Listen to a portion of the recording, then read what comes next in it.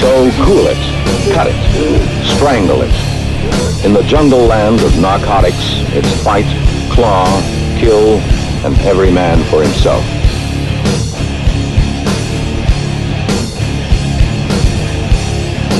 While under the influence of marijuana, his blood pressure increases.